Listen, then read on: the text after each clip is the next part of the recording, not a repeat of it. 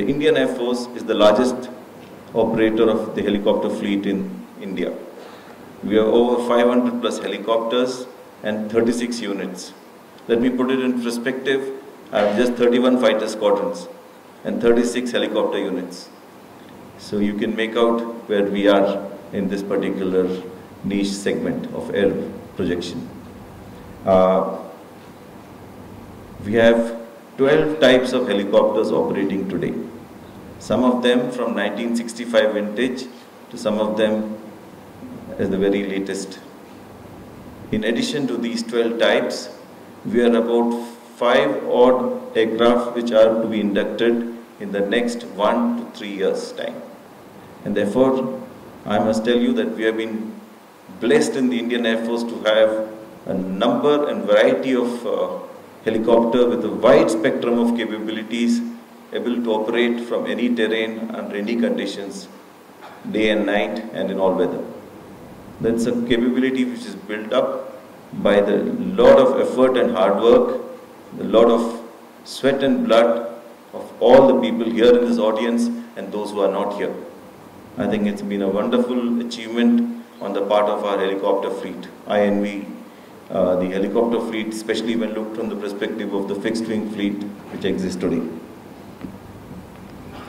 Uh, the helicopters in the Indian Air Force have been used on a plethora of roles, right from air maintenance to the Indian Navy, Army, which is operating in some of the highest uh, terrains in the world where human beings can exist safely. We have been uh, operating as uh, got out just before earlier in the flood operations in Kerala. In every operations which requires vertical lift, the Indian Air Force has put its foot in and has operated safely and with a lot of dedication and uh, effort. Uh, the helicopter fleet has uh, since 2009 also been supporting the Central Armed Police Forces in anti-Naxalite operations and has uh, been transporting men and material as required, CASEVAC, all the roles which are required for us to do safely.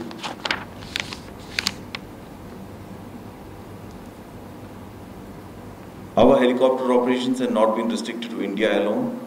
We have contributed significantly to United Nations, uh, United Nations requirements in the past, and we will continue to do so in future as and when called upon. Uh, I will now briefly touch upon the future acquisitions in the helicopter fleet, which are in my domain of expertise. In the light segment, we are in the process of uh, replacing the Chetak, Cheetah. The Cheetal is coming in by the induction of the Kamov 226. 60 of them would be ordered shortly. Uh, that's the, as far as the light segment goes. In addition to this, we are fully supporting HAL in the light utility helicopter segment. And as and when that aircraft has completed its flight test, and is ready, we will be placing an order for them. As far as the attack segment goes, we have uh, Apaches being inducted shortly in the next one year, followed by which the LCH, we have already placed an order for 15 of them. As and when they are ready, they will be inducted. And we see a major growth path in the attack segment as we face out our MI 25 and 35, which will leave us in the next three to five years. In the medium lift segment, I'm proud to tell you that we are doing exceedingly well. We have the Mi-17s, the Mi-17 1Vs, both of which are being upgraded, 100 of them. We also have the Mi-17 V5, which is a very versatile platform. We got about 136 of them flying today. We'll be getting in another uh, 48 more in the near future. All in all, very highly capable, fully capable of operating in the entire spectrum of vertical lift. The heavy lift category of which we have uh, just a few helicopters of the Mi-26 variety are now going to be supplemented by the Chinooks. We expect them to come in from March 2019. Uh, we'll have 15 of them coming in and it will give us a great uh, capability in the heavy lift segment. Uh, this is a brief overview of what we are doing in these various segments.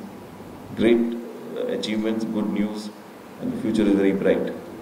Looking at uh, what uh, we should be striving to, I think General uh, Anwar uh, very correctly put it where exactly the focus lies. We are looking for speed, we are looking for range, we are looking for agility and endurance. At the same time, we are looking for safety. Our operations have been to a large extent in the rotary wing domain, VFR to near IFR. In future, we're looking for a capability which allows us proper IFR flying in clouds in the weather which we have over the Indian subcontinent to a large extent. That's the capability which we should be focusing on in future. Uh, I am confident all these technologies that are being developed, both in terms of tilt rotor and the other developments which are taking in this amazing field, will all come together very shortly and we will be able to achieve far more than what we are capable today. The, at the end, I would once again like to thank the Rotary Wing Society of India for having me here on stage this morning. Thank you. Hind.